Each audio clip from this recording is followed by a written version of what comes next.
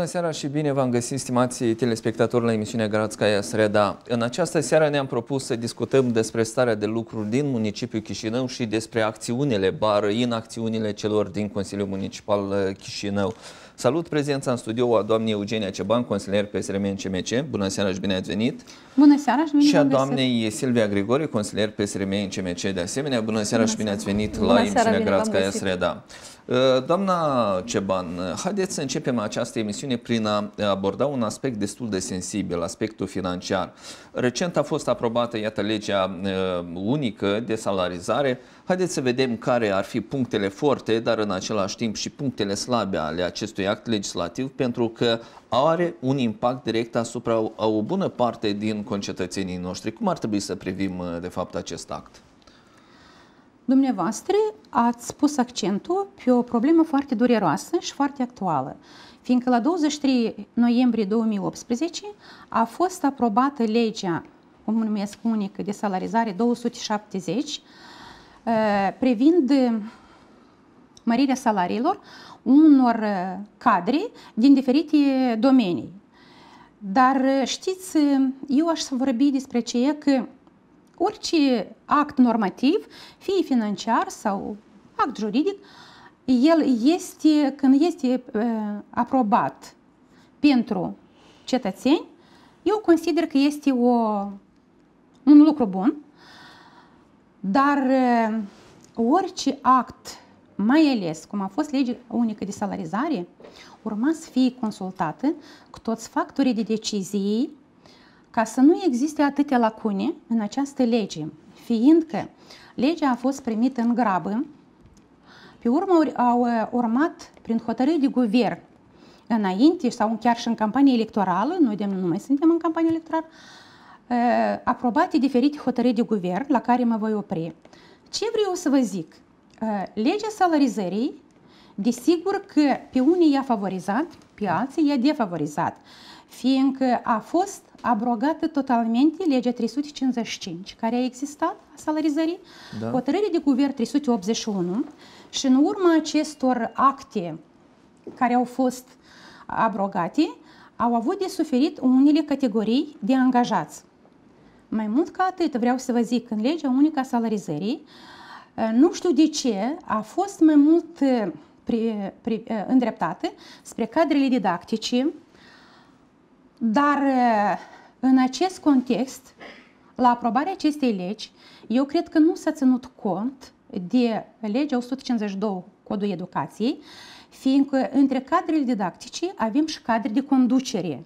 Și orice funcționar public, orice demnitar de stat, înainte de a intra într-o instituție, fie de învățământ general, da. public, el discut cu conducătorul acestei instituții și iată, acești conducători au fost lăsați în afara sistemului de salarizare. Practic, nu au fost pentru ei mărite salariile. E Până o carență. La, eu, a fost o carență foarte mare, ca mai apoi, în campania electorală, prin hotărâri de guvern, ă, ca să-i stimuleze o leacă, puțin, a fost aprobată o hotărâre de guvern și le-a dat 10% ca grad managerial. Dar vă dați seama, 10% din aceste 8.000 sunt 800 de lei. Dar nu ceea ce au pierdut ei 3, 4, 5.000 de lei cadrele de conducere. Tot la, în acest context, când a fost aprobată hotărârea 969, ca să li se acorde uh, hotărârea 802, uh, modificări la hotărârea 802 prin 969, se dea 2000 de lei pentru materialele didactice, a fost hotărâre de guvern, atunci tot a fost omis o greșeală, fiindcă 2000 de lei pentru materialele didactice s-au dat iară cadrelor didactice, fără să se țină cont și de cadrele de conducere, precum că ei vor primi această sumă începând cu anul 2020. Vă dați seama. Înseamnă că trebuie să nu intre nimeni nici într-o instituție de învățământ până în 2020, fiindcă, în primul rând, figu- prima figură care intră într-o instituție este directorul uh, institutului, licee, liceului sau astea. Asta e una. A doua, eu vreau să vă zic că uh, este bine, fiindcă, nu, știți, a critica e una, dar a vedea într-adevăr ceea ce se întâmplă. Legea salarizării a fost primită, Și cei mai mari gaf care au putut să o facă la nivel central, știind că merg în campanie electorală, la 26 decembrie se aprobă hotărârea de guvern 1281, mai ales pentru toate instituțiile la nivel central, unde a fost pus moratoriu pe angajare în serviciu. Spuneți-mi dumneavoastră, au fost asistenții din Parlament eliberați înainte da. de campanie electorală. Și, și mare majoritate sunt tineri, până la 30 de ani. Nici unul nu se poate angaja că hotărârea e în vigoare. Absolut. Atunci, și să vă zic ce rătlic a fost făcut, fiindcă peste 15.000 de locuri vacante, pot să vă arăt și hotărârea de guvern, 1281, că spus în fiecare instituțiile, func- în instituții, funcțiile care sunt vacante, Ia uite, uitați-vă, este anexa. Da, putem să o arătăm și telespectatorilor putem la camera de luat vedere, ca să vă uitați dumneavoastră ce se întâmplă, e extraordinar.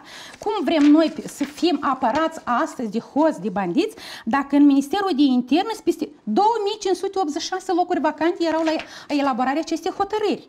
În Ministerul Apărării, dar dumneavoastră ați văzut și aici principalul. Uh, o persoană, chiar dacă ei mărit salariul, dar la funcționarii publici nu au fost atât, fiindcă ei prea, practic nu au câștigat în, mărimea, în mărirea salariului și astăzi mergeți la oficiile poștale, dumneavoastră, astăzi mergeți la casă, casele terioratare de asigurări sociale, că sunt 40% vacante din uh, funcțiile care trebuie să le ocupe și să deservească cum n-ați vrea o persoană, nu poate în loc de trei să lucreze și din pricina acestei hotărâri nu pot angaja. Adevărat. Noi încă la nivel municipal, știți, asta putem să o primim ca uh, recomandare. Dar la nivel central e scris clar. De ce ea?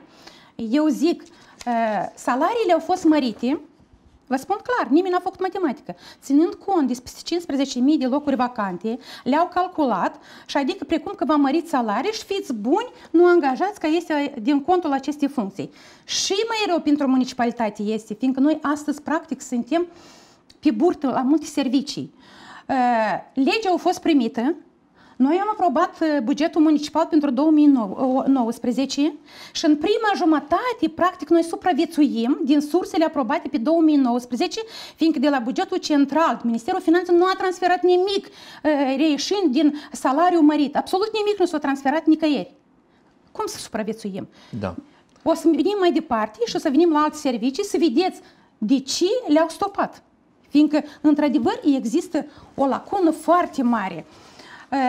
Eu mă întreb încă și chiar vreau ca să ascult, chiar și ieri am privit discuțiile cu polița de asigurare în medicină, da? Spuneți-ne, vă rog, de ce angajații Companiei Naționale de Asigurare în Medicină nu avem alternativă? Au o, o companie și fiți buni și încheieți cu noi.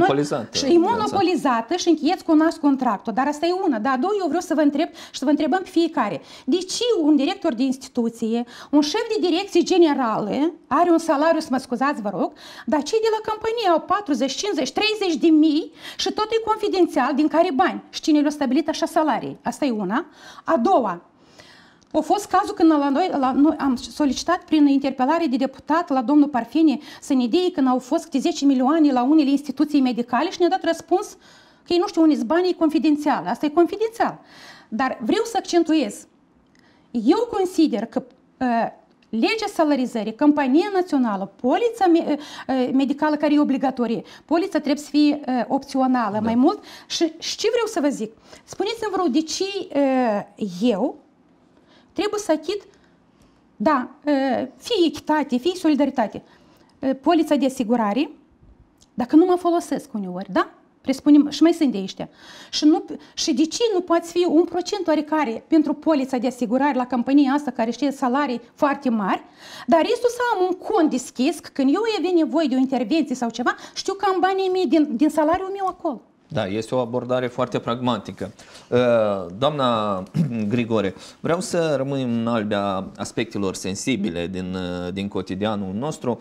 Uh, spre exemplu, în ediția de săptămâna trecută a emisiunii Reflector Analitic discutam despre cazul de la Tohatin și despre ceea ce se numesc combinatele școlărești.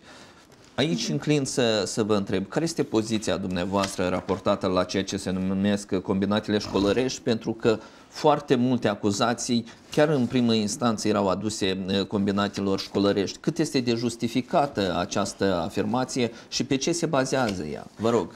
Știți, noi avem așa obicei de a învinui deodată fără ca să ne lămurim ce se întâmplă în jur. Noi, în Consiliul Municipal, încă un an în urmă, am, am votat o decizie din care toate combinatele școlărești treceau din subordinea republicană în subordinea municipală.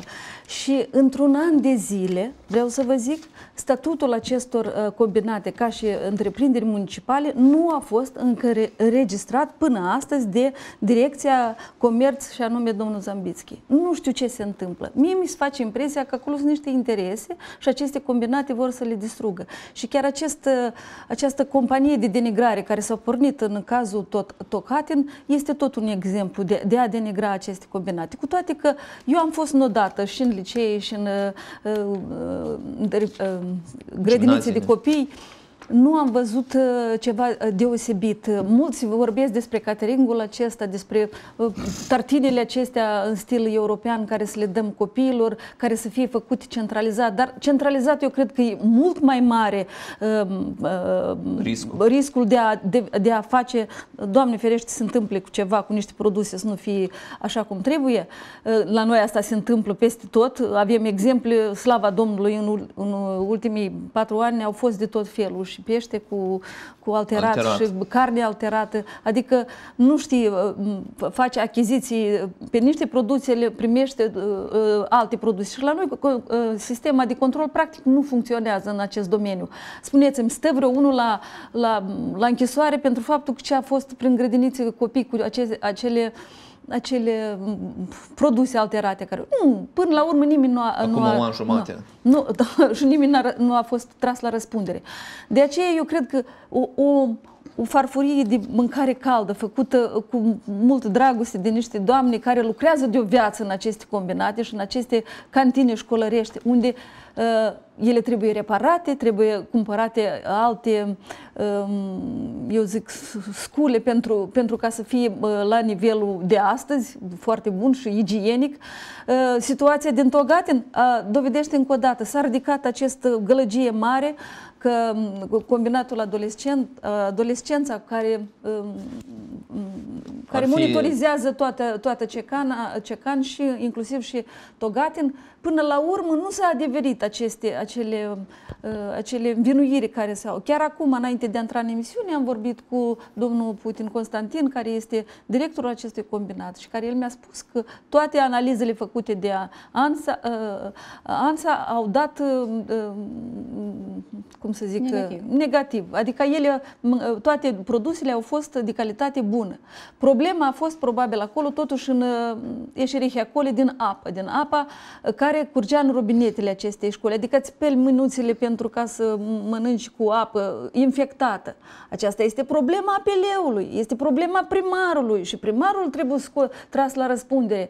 Fiindcă noi ne-am deprins că până la urmă o facem vinovată pe doamna care pregătește mâncare sau cine, nu știu Dacă ar fi acolo. fost uh, vinovat combinatul, s-ar mai fi înregistrat cazuri similare de, desigur, și în alte desigur, instituții de ei cumpără, nu cumpără o, produse doar pentru o cantină, ei cumpără produsele în stoc și cumpără trebuiau să, să se otrăvească copii din diferite uh, uh, școli și licee. Dar asta s-a întâmplat numai într-un loc. Dar până la Doamna urmă... Grigore, dar dumneavoastră considerați că problema alimentației copiilor în școli și grădinițe mai persistă? E persistă și o să persiste. Asta este sănătatea copiilor noștri. Noi trebuie să monitorizăm și să controlăm foarte drastic. A, asta și este situația. Că noi până acum nu avem înregistrate aceste combinate ca și întreprinderi municipale, cu toate că noi am votat. Ce folos că noi votăm în Consiliu foarte bune decizii, însă executivul le sabotează și le boicotează. Cine o să controleze aceste combinate atâta timp cât ele nu sunt înregistrate? Statutul lor nu este înregistrat. Nu știu, poate s-a înregistrat, dar eu nu am văzut așa, așa și am vorbit, am, chiar și-am întrebat pe un director, a spus, nu, n-am, nimeni nu mi-a, nu mi-a, m-a adus așa document la mână. Cu toate că uh, uh, uh, primăria executivul are uh, posibilitate de a ținea sub control aceste combinate și eu cred că trebuie drastic ținute sub control, atâta. Da. Dar, dar sunt oameni care au muncit o viață în acest domeniu și au, au și această responsabilitate care era cândva. Eu cred că um, întreprinderile care se deschid acum recent, ele nu au așa responsabilitate cum aveau um, cei deprinși să lucreze uh, pe perioada, chiar și perioada sovietică, că, când era o, foarte drastic era un control Sanepidul. Dacă venea Sanepidul cu un control, era control. Acum vedeți centrul de sănătate ce, ce controle face și ce specialiști. Ați văzut cum mascații, cum îi arestau pe acolo și găreau prin, prin coridoare, fiindcă ei se poartă anormal total. Noi știm care e situația, asta este. Da. Doamna Ceban, ă, eu vreau să revenim la o altă categorie socială din, ă, din societatea noastră. Vreau să vorbim un pic despre pensionari, vreau să vorbim despre faptul că se recalculează pensiile. Cel puțin asta este teza cheie în jurul căreia se tot discută. Haideți să vedem ă, cum se realizează ceea ce se numește indemnizație și până la urmă, în acest context vreau să vorbim și despre ajutorul material pe care le se oferă persoanelor de vârsta a treia. Desigur, ei se dovedesc a fi cei mai vulnerabili vulnerabil. Haideți să luăm de la un capăt, majorare de pensii. Da, categoria care dumneavoastră ați enumerat, într-adevăr, este o categorie care a muncit o viață, a construit uh, atât orașul cât și întreaga republică au muncit și desigur că este foarte obișnuitor, fiindcă această categorie este nevoit în detrimentul sănătății lor să mai activeze și după ieșirea la, pensio- la vârsta de pensio- atingerea vârstei de pensionare, în loc, într-adevăr, să fie cu, să șadă cu niște nepoți, să se odihnească. Uh, și ce vreau să vă spun? Noi, cei din, din Consiliul Municipal, cei ce ține de persoane linitate, familii cu mulți copii, persoane cu dizabilități de diferite categorii, noi avem un șir de programe sociale împreună cu, știți, în Consiliul Municipal avem o conlucrare cu toate, avem peste șapte fracțiuni da. și noi avem o conlucrare foarte productivă indiferent de apartenența politică, să știți, muncim cot la cot, chiar dacă avem unele contraziceri, oricum, până la urmă, toate proiectele, toate inițiativele, fie a noastră socialiștilor sau din alte formațiuni, sunt aprobate. Practic, pensionarii în municipiul Chișinău, 40% au la agentul termic, la deșeurile solide, la evacuarea, deșe, la, la evacuarea deșeurilor, la cota parte a apei, ceea ce până acum nu mai există în, în, la nivel central, nu s-a anulat legea care au pus pe seama pensionarilor cuburi de ape care ei practic nu le folosesc. Asta e o problemă. A doua, aș vrea să ating că noi conlucrăm foarte bine cu conducătorii tuturor uh, direcțiilor, atât a primăriei cât și a Consiliului Municipal. Dar să știți, vreau ca pensionarii să știe, vreau ca orice cetățean din municipiul Chișinău să înțeleagă că dacă ceva nu se execută, nu le primesc documente la o întreprindere municipală, la o direcție, acestea sunt uh, conducătorii celor subdiviziuni a celor care sunt la guvernare, fiindcă noi nu avem fracțiunea Partidului Socialist absolut nici într-o instituție, nici într-o direcție. Noi încercăm ca orice proiect de decizie aprobat să fie executat. Dar asta este special uh, direcție în primărie care ar trebui să, să se ocupe de executarea deciziilor. Ceea ce ține de ajutoare materiale, știți, pe mine mă miră faptul că, iată, vine control după control, inspecție financiară, inspecție socială, acreditarea și multe alte inspecții, agenții, dar vreau să vă zic că, practic, uitați-vă, noi am primit Consiliul Municipal scrisoare da. că de la 1 ianuarie 2018 a fost asistată activitatea fondului municipal, da? Adică fondul municipal activa în baza legii 827. Și să vedeți dumneavoastră ce se face la nivel central, unde este și pe aici undeva. Da, o găsim pe o găsim și după aceea revenim ca să Uitați-vă scrisoarea. Iată, scrisoarea puteți să o vedeți. Da, haideți să o arătăm și, telespectatorilor ca să Și știți că este nedumerit faptul că la nivel central se fac operări de modificări la legea 827 ceea ce ține de fondurile de susținere socială a populației.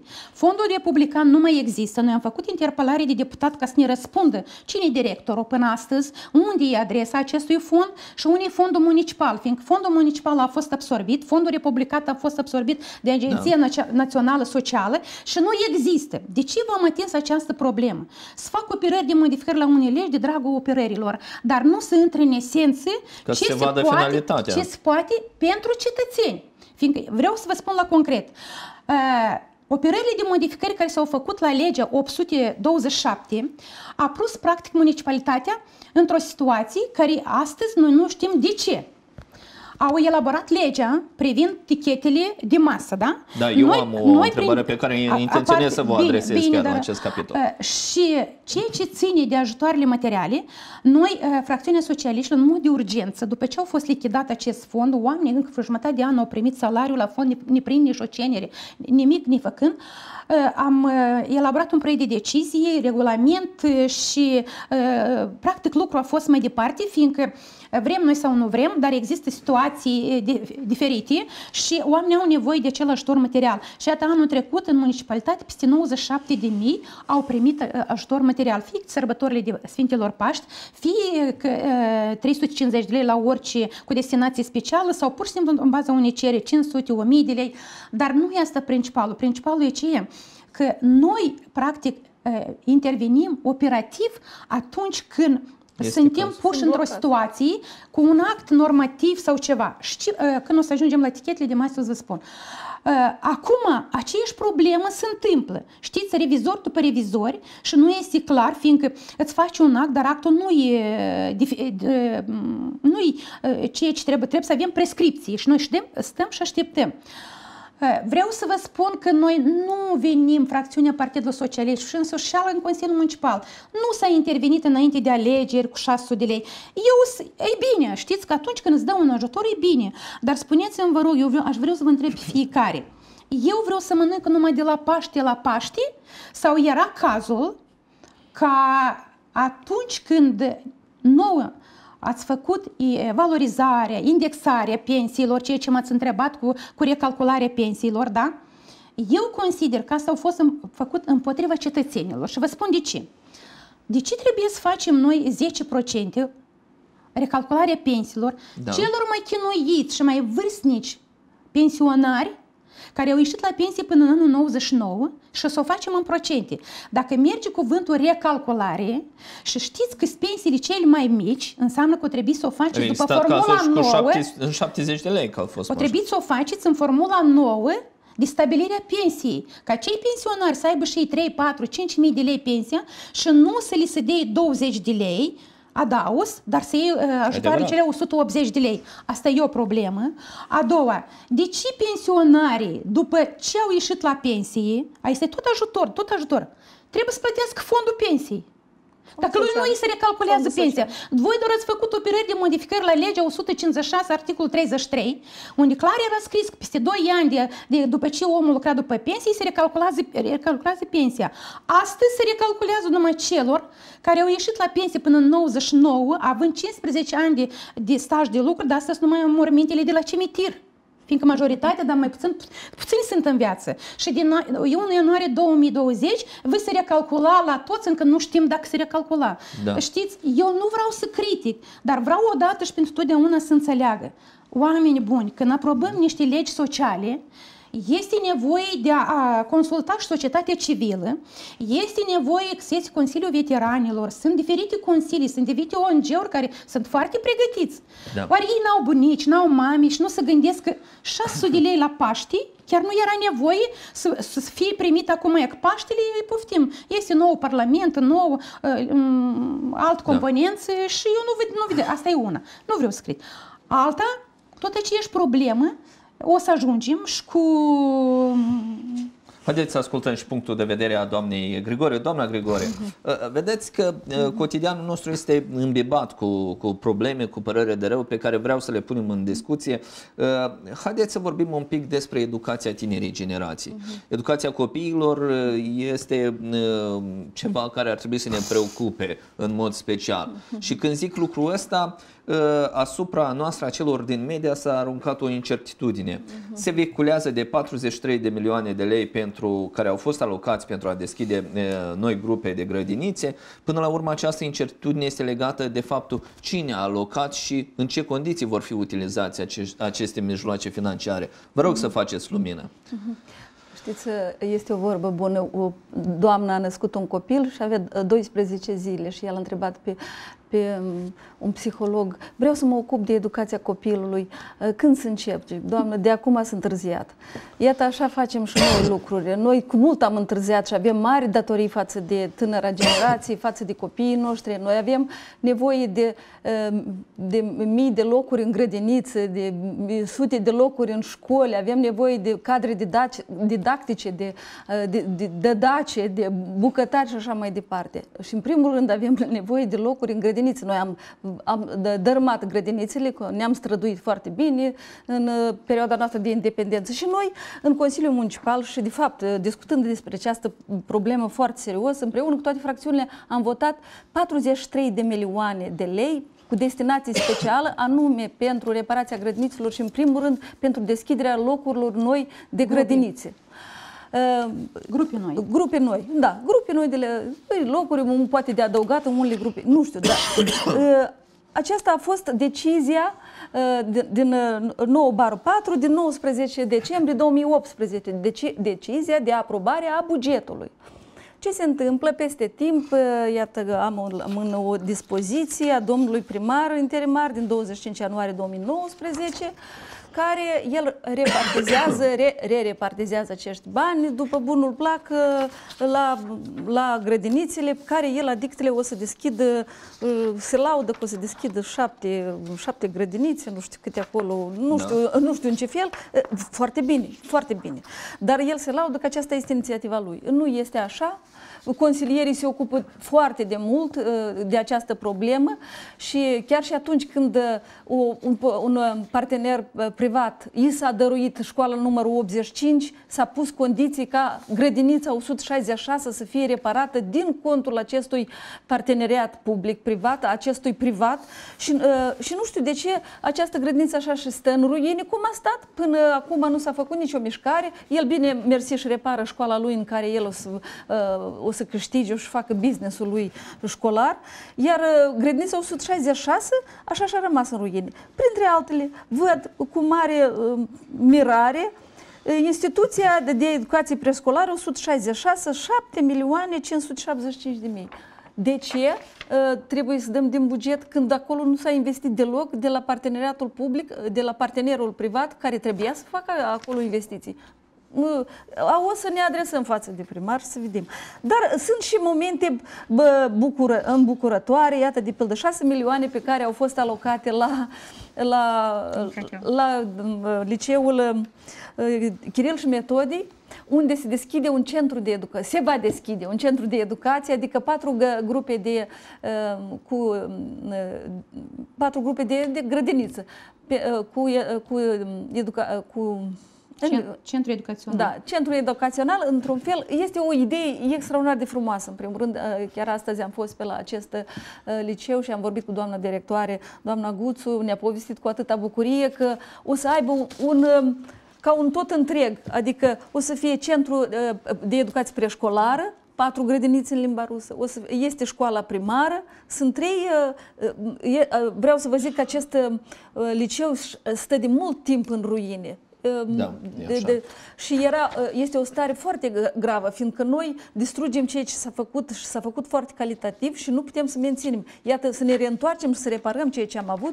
și această idee este foarte bună, că o să fie centru de educație ă, preșcolară, pe urmă ehm, grupe de ehm, școală primară, pe urmă gimnaziu, liceu totul este împreună, adică o să fie un centru unde să, copiii o să fie monitorizați de, permanent, o să, uh, profesorii o să răspundă de activitatea lor și de toată ceea ce fac. Acolo, de fapt, la Chiril și Metodii, uh, datorită inițiativei noastre a socialiștilor, că noi am, da. am fost odată acolo și ajutăm acest, acest liceu, uh, s-au făcut niște schimbări bune, frumoase, s-a acoperit din nou și dacă o să se întâmple aceasta, noi sperăm să fie, fiindcă banii de acum sunt uh, alocați, încercați ca acest centru educațional cu grupe uh, cu, uh, ruse deschise pentru că grădiniță de copii, adică grădiniță de copii, centru de educație, da, nu importă denumirea, importă rezultatul. Rezultatul sperăm să fie foarte bun. Fiindcă uh, și, și, și, și celelalte grădinițe, nu știu cum se va realiza, noi o să monitorizăm acesta. Da. Am dat 43 de milioane noi, de fapt, consilierii și noi o să mergem la fiecare grădiniță care este în acest anexă, care este, și o să mergem și o să controlăm bănuți cu bănuți. Fiindcă uh, ceea ce face executivul, de multe ori uh, rămânem perpleți. Banii sunt dați, pe urmă sunt redirecționați, nu știu unde dispar, iar noi o să mergem și o să controlăm bănuți cu bănuți. Vedem, o să ajungă ei la destinație sau nu. Uh, mulțumate, doamne, vreau să vă zic că am uh, reușit să facem legătura telefonică cu Aurelia Crăciun, șef uh, secției asistență socială comunitară din sectorul Boiucani, pe care o salut. Bună ziua, doamnă Crăciun! Bună ziua! Mă numesc Vlad Madan. Astăzi, în cadrul emisiunii Garațcaia Streda, discutăm despre mai multe aspecte ce țin de uh, municipiul Chișinău și despre modul în care sunt implementate anumite decizii. Vreau să vă întreb, cum stăm noi la capitolul susținerea persoanelor bolnave mental? Pentru că în ultimul timp, când zic lucrul ăsta, fac referire la cel puțin 2-3 ani de zile, am asistat la discuții axate pe rolul și importanța acestor uh, centre, nici nu știu cum să le numesc, ar fi mai corect, ce se întreprinde, cum uh, soluționăm problema, cum sunt, cum sunt susținuți de fapt acești oameni care au nevoie. Vă rog. Uh, din cele mai frecvente probleme cu care se confruntă da. asistența socială, în special în asistarea persoanelor cu deficiențe mentale, este insuficiența serviciilor sociale specializate ca alternativă serviciilor rezidențiale, tip respiro sau casă comunitară, locuință protejată, uh, și faptul că persoanele cu boli mentale grave pe alocuri nu au și instituit o tutelă, o măsură de ocrotire judiciară care ar permite reprezentarea persoanelor în diferite instanță. Aceasta constituie o problemă. Este și cea mai frecventă problemă, dacă mai sunt situații în care membrii familiei se adresează pentru solicitarea unui uh, uh plasamentul unui persoane, unui membru a familiei într-o, într-un serviciu rezidențial, în special a persoanelor cu boli mentale. Faptul că noi nu avem decât internatele psihoneurologice și, după cum prevede legislația, uh, serviciile în cauză urmează să fie desființate și Serviciile locale nu sunt suficiente la nivel local. Cui rămân acești bolnavi, acești oameni? De cine vor fi susținuți? Poftim? Acei bolnavi care vor rămâne pe drumuri, iau în ghilimele de rigoare, cine se va ocupa de ei? În cazul în care sunt sesizări a Direcției Asistență Socială din partea persoanelor sau a societății sau altor, uh, altor organizații, atunci asistența socială intervine și formează acea echipe multidisciplinare care intervin în soluționarea problemei. Dar vă zic că cel mai grav este atunci când persoana fiind cu deficiențe mentale grave, care nu realizează acțiunile sale, nu are un reprezentant, un, cum am zis, mă repet, un tutore. Și atunci este mai dificil pentru noi ca să, să putem interveni și să soluționăm problema cu care se confruntă, fiindcă sunt multiple probleme. Și uh, vă zic, dacă legislația actuală ne permite într-un fel sau altul să dezvoltăm serviciile, pentru municipiul Chișinău astfel de servicii noi nu le avem. Nu le avem dezvoltate și oamenii ăștia revin în stradă, în special cei care sunt și fără casă, când mai sunt și momente din astea care în virtutea sorții au rămas în stradă și atunci unica plasare este halteiu, centru de găzduire nocturnă. Oh. Dar asta nu este soluția. Acolo nu este, regulamentul nu privede. Eu vă mulțumesc, doamna Crăciun, pentru aceste informații pe care ne le-ați furnizat. Doamna Ceban, sunt uh, informații cu de-a, de dreptul cu tremurătoare ce am auzit noi. Cum se întâmplă în secolul 21 oameni care riscă să rămână pe stradă la propriu? Doamna Aurelia a ridicat o problemă foarte arzătoare și vreau să vă spun de ce. Eu m-aș întoarce iarăși la Campania Națională de Asigurări în Medicină. Spuneți-mi dumneavoastră, în Republica Moldova există vreun plan de uh, măsuri uh, de profilaxie a acestor da. maladii? Asta e una. Și de ce Campania Națională de Asigurări în Medicină nu ține cont de angajații Direcțiilor Asistență Socială, caselor teritoriale de uh, asigurări, da?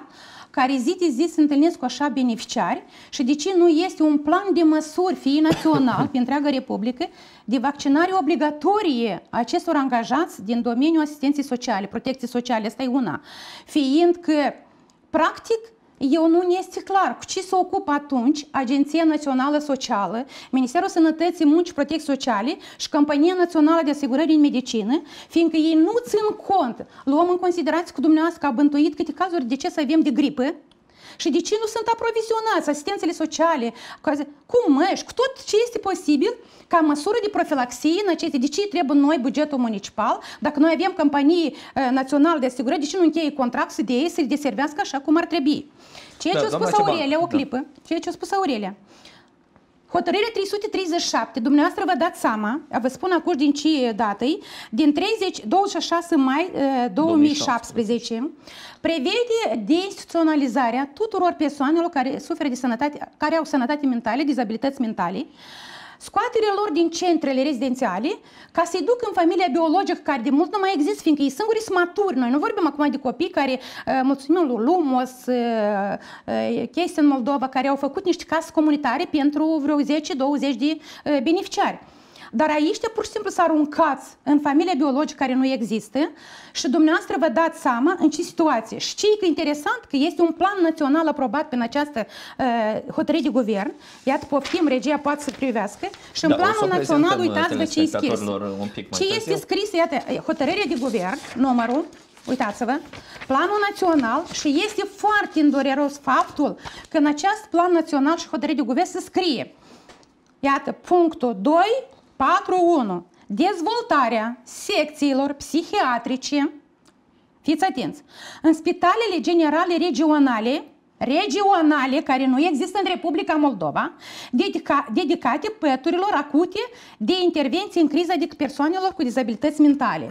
Asta vorbește despre ceea că pe noi pe viitor a fost aprobată această hotărâre de guvern pentru închiderea spitalelor raionale, aruncarea medicilor în stradă și deschiderea spitalelor regionale. Despre ce noi astăzi putem vorbi? Este o problemă arzătoare la cer. Da. Uh, doamna Ceban, eu vă mulțumesc.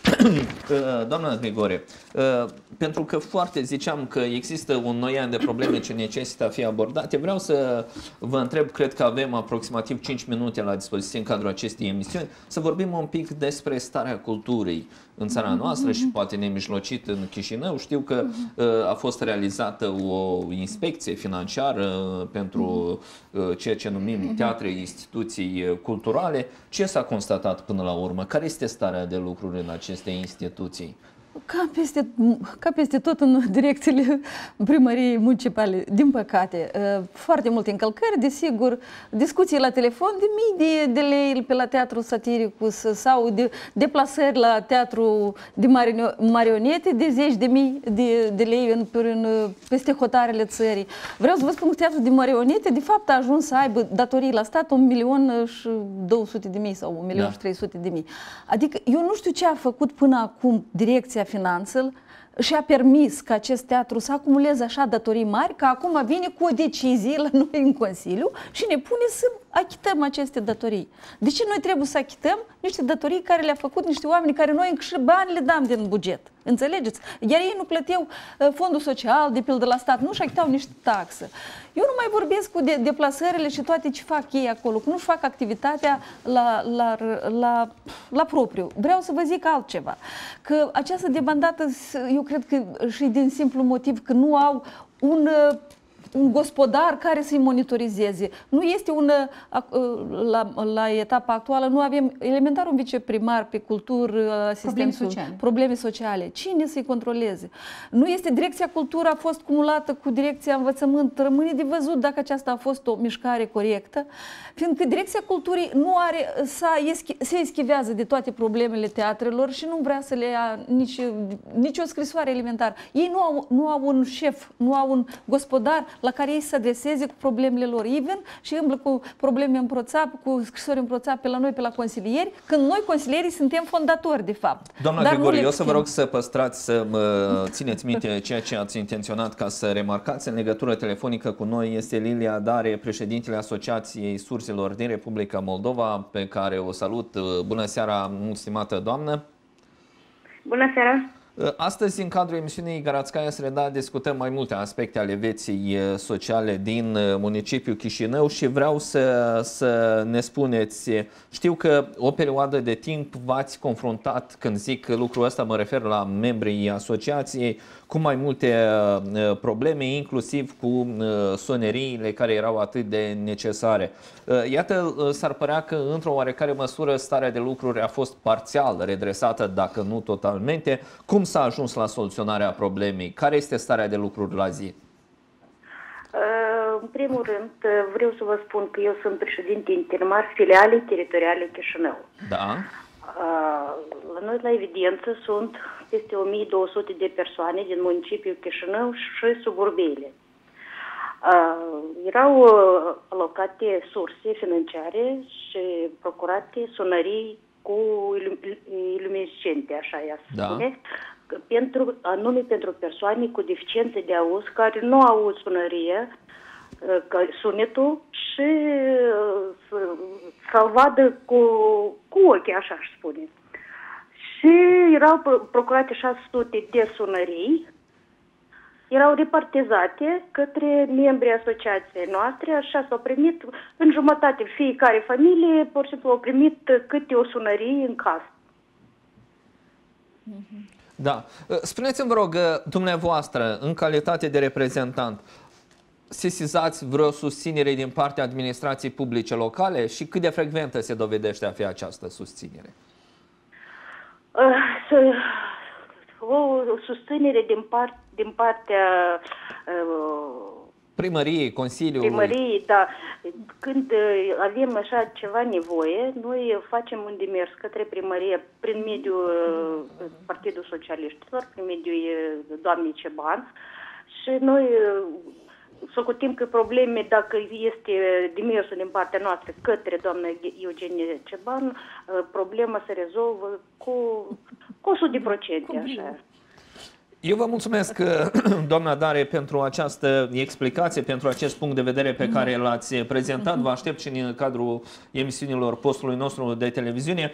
Doamna Ceban, cred că mai avem câte un minut pentru fiecare invitat. Vreau un pic să comentați starea de lucruri care a remarcat-o doamna Dari și tot aici, ca să nu rămân în afara uh, emisiunii, pomeneați astăzi despre etichetele de masă. Care este mhm. starea de lucruri? Discutam cu diferite ocazii și mulți salutau acest proiect. Cum se implementează el? Vă rog.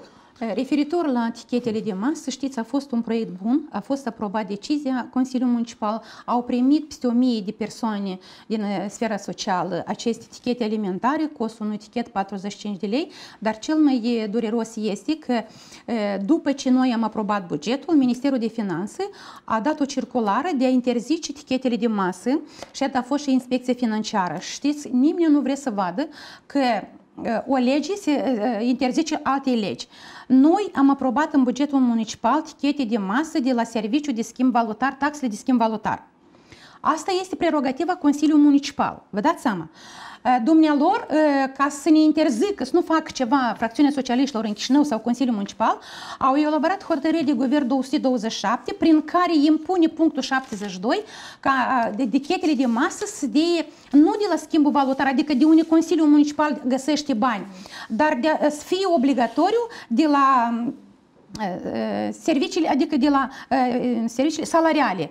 Care salariu dacă voi nu ați dat pe anul acesta, știind că nu a dat surse financiare de ajuns la acest capitol, economiile la salariu? Asta e una. Și altă, când vine revizorii de la inspecția financiară, tot nu ne este clar de ce nu intră în esență. Bine, dacă voi nu dați voie că de la schimbul valutar, care ne-au rămas 10 milioane pe anul trecut, să ducă la etichete alimentare, dați-ne, argumentați-ne, descrieți-ne, am solicitat, unde s-au dus ceilalți 10 milioane, că tot uh, Consiliul Municipal, cred că s-au dus în dispoziția primarului sau acum, mm. la alte servicii se poate și aici nu se poate. Asta e o problemă. A doua, ceea ce a spus Aurelia, eu vreau să vă zic că, iată, asta problemă este și în detrimentul lor, fiindcă oricum ei zi de zi, uh, fiind cu așa contingent în, uh, în fiecare zi, pentru dânsi era un stimul mare. Și cel mai neplăcut este, știți, că legea 131 nu prevede, au elaborat în mod urgent hotărâre de guvern 227 ca să impună în genunchi municipalitatea să nu deie tichete de masă, mai mult ca atât, eu nu înțeleg atunci inspecția financiară. Dar pentru ce a fost aprobată, dacă faceți trimite la legea finanțelor publice 181, care prevede clar că administrația publică locală dirigează sursele financiare, deci prin legea 267 sau care s-a modificat legea fondului, care nu există, ne impuneți articolul 5 obligatoriu numai pentru cantine sociale. La cantine noi am dat 8 milioane nouă, restul bani rămân. Ce, unde să duc? Da. Și eu vreau să vă zic încă o dată că noi în municipalitate, ca să țină clar toți, 2000 de lei pot ridica familii, 600 de familii de vineri, mergeți vă rog, la care s-a născut a treilea copil și nu ați primit în decembrie, noiembrie anul 2018, ianuarie, februarie și ridicați la orice oficiu poștal aceste sume de bani. Da. Familiile Doamna. care au trei copii de grădiniță, mergeți la orice oficiu poștal de, de vineri și ridicați 700 de lei care trebuiau să le primească și așa au fost stopate ca să, din banii aprobați pe, în bugetul pe anul acesta să se achite datoriile de anul trecut. Oameni buni, haideți să fim sinceri, fiindcă uh, bugetul a fost aprobat de consilieri și nu de direcția finanță. Și da. să fim sinceri și să se întâmplă, fiindcă noi oricum, până la urmă, găsim toate lacunele astea. Altă problemă a apărut și vreau ca toți pensionarii, persoane la cărucior, invalizii, să înțeleagă că s-au adresat după uh, campania electorală la, la fracțiunea Partidul Socialiștilor referitor la cimitirul Doina. Problema va fi soluționată până la Sfintele Sărbători de Paști, cu stația Terminus va fi schimbată, poarta a treia va fi deschisă și dumneavoastră vreți, nu veți merge în patru picioare așa, să ajungeți la mormintele rudilor, dar stațiile se vor schimba la toate rutierele, va fi tablou informativ, cum circul graficul și noi să știți că tot timpul am fost, vom fi și suntem lângă cetățeni. Vă mulțumesc, doamna Eu Ceban. Doamna Grigore, scurt, vreau să ne spuneți, iată, sunteți pe final de mandat în calitate de consilier în Consiliul Municipal Chișinău.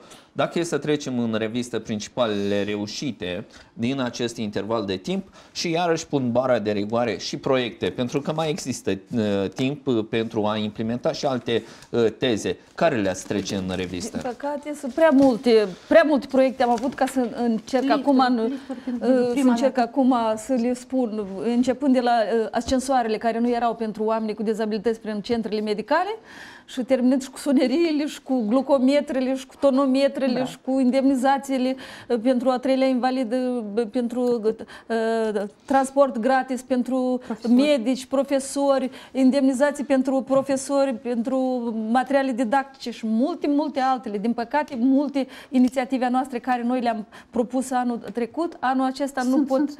Uh, nu, nu pot uh, ni le blochează. Noi da. o să facem tot din adinsul să le re, re, revedem, reluăm, fiindcă ceea ce este pentru cetățeanul nostru, ceea ce am promis, noi ne-am ținut de cuvânt totdeauna. Nu mai vorbim de terenurile de joacă care astăzi sunt pline, full de Sute. copii da. și sunt de acum peste 100 și terenuri de sport, două stadioane, acum sunt în lucru. Adică ceea ce noi am propus, ne-am propus, noi realizăm. Chiar doamna dacă Grigore. suntem sabotați și suntem blocați, noi tot din realizăm. Doamna Grigore, doamna Ceban, eu vă mulțumesc pentru prezența în cadrul emisiunii și vreau să obțin uh, promisiunea că mai dați curs invitației noastre, Cu pentru plăcere. că multe aspecte au rămas pe din afară. Stimați telespectatori, aceasta a fost emisiunea Garațcaia Sreda. Rămâneți alături de noi.